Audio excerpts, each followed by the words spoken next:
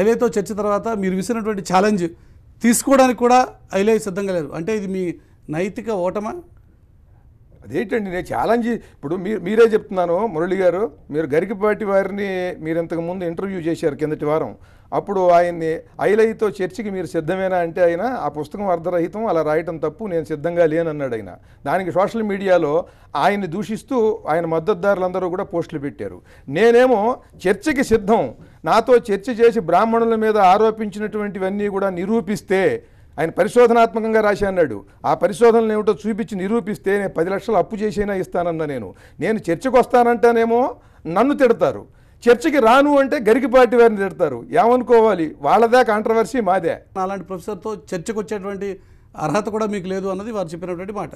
అసలు కాదండి అసలు.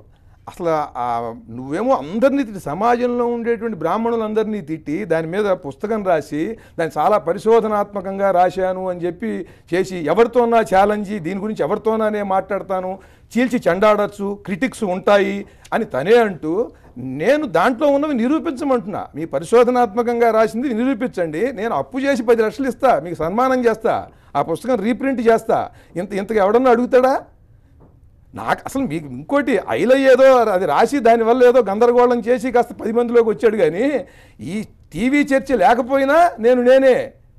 ప్యారడీ రాసేవాడి వాళ్ళు నేను ఒక్కడేనండి నా గురించి అవస అవకాశం వచ్చింది మీరు వచ్చి అడుగుతున్నారు కనుక చెబుతున్నా. ప్యారడీ రాసేవాడిని నేను ఒక్కడే ఇవాళ.